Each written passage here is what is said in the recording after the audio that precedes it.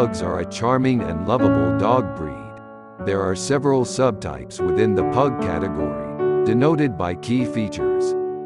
One of the rarest and most desirable pug types is the brindle pug.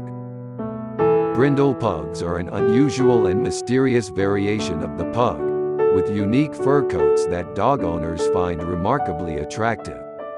These dogs are so uncommon that some dog owners are hesitant to buy them due to concerns about health problems. The distinct look of rare brindle pugs makes them appealing to many people, but their rarity leaves potential pug owners with questions. Because brindle pugs are so rare, pug enthusiasts remain divided on whether brindle pugs are desirable. Some pug lovers view brindle pugs as exotic and thus a remarkable find. Other pug experts argue that this fur pattern is a genetic anomaly and a sign that the pug is not an authentic purebred. Fawn pugs have cream to yellowish coats with dark brown or black ears, muzzles, and accents around their eyes.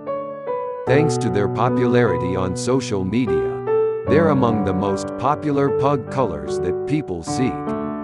In addition to standard fawn pugs, other fawn color varieties include apricot fawn and silver fawn. As their names imply, apricot fawns have a more yellow-colored coat. In contrast, silver fawns have whitish-colored fur. Both apricot and silver fawn pugs also have black or dark brown accents around their ears, muzzles, and eyes. Like humans can have different color hair but are still the same species, the same is true for pugs. Therefore, if you love a pug's wrinkled face or curly tail, you can rest easy knowing that you can find these features in fawn or any other color pattern of pug you bring home.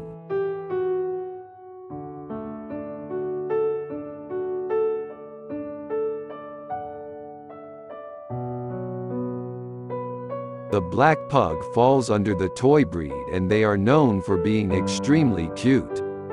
These dogs are normally born in litters of 1 to 9 puppies, although 4 to 6 puppies is most common. In the 1500s, Dutch traders brought the black pug from China to England and Holland and these pups became a popular dog among aristocracy and royalty. This included William III, Queen Victoria, Josephine Bonaparte and Marie Antoinette. After the Civil War they made their first appearance in the U.S. Like other pugs, black pugs have a wrinkly, short-muzzled face and a curly tail. They also have a compact, square-like body and grow to a height of about 1 to 14 inches.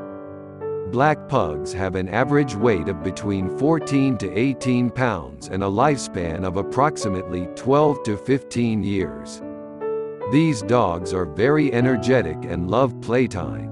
They especially love to play with their family and can go on for hours. However, once they are back home they will happily curl up next to you on the couch and relax too, making them the perfect best friend.